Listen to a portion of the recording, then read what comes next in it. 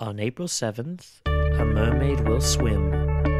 A very beautiful princess will have a very rough night's sleep. A poor little match girl will be left out in the cold, and a very cold woman will leave everyone out. There'll be tutus, technique, fun, excitement, and one very magical man. As the enchanted nightingale flies from her cage, Anaheim Ballet's dancers take to the stage.